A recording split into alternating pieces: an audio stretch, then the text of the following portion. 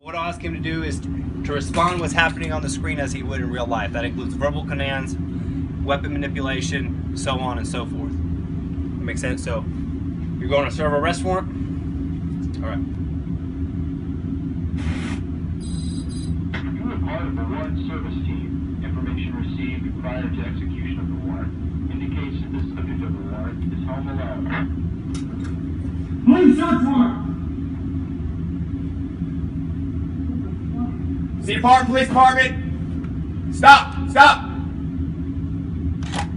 Show me your hands. Do it now. Show me your hands. Do it now.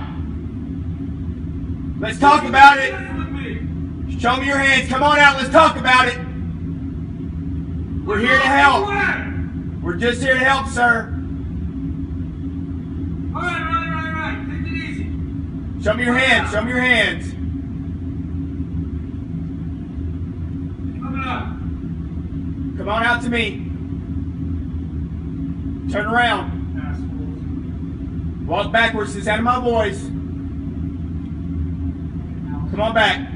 We'll get you help. Come on back. All right. At this point, we would debrief Officer Ducros. He did a good job. Everything was fairly normal. When the guy ran off, went down a hallway and disappears, becomes threatening. That's when he drew his handgun because he doesn't know what he's facing.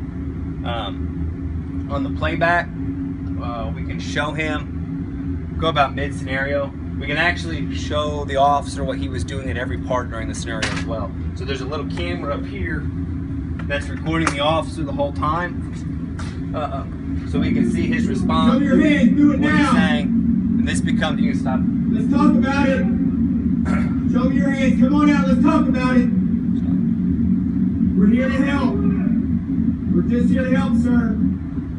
So sometimes in these moments, the mind will work differently and the officer will think that they're doing something and they're not doing it. This gives us the ability to go back and show them what they actually are or are not doing in a certain part of the scenario. Does that make sense?